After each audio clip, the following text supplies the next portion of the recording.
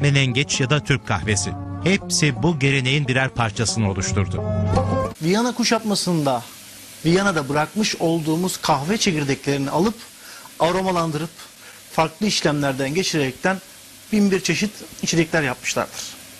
Ama ondan önce zaten yıllarca Osmanlı'nın hükmünde olan bir ürün oldu kahve. Ve kahvenin bulunduğu yer Etiyopya, Habeşistan'dır. Ve daha sonra Yemen'i aldıktan sonra Osmanlı Devleti Yemen valisi Özdemir Paşa kahveyi içip bunu ben İstanbul'a sarayıma götüreceğim dedikten sonra kahvenin gelişmesi ve patlaması yaşanmıştır.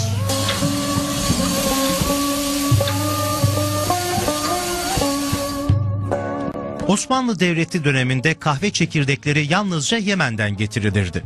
Gümüş ya da bronzlar kadar değerli kabul edilen kahve herkese ikram edilemiyordu.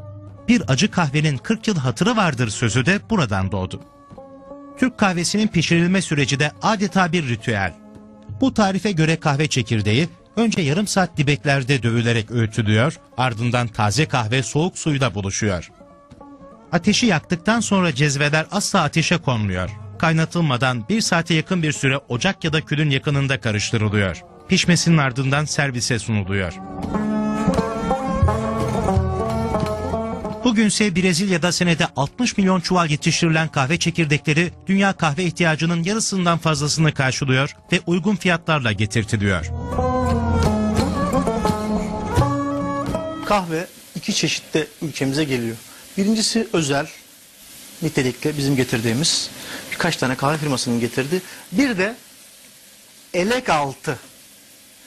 Mesela gemide kahve getiriyorsanız geminin ya üst katında güzel bir yerde konteynerla ya da alt katında getirirsiniz.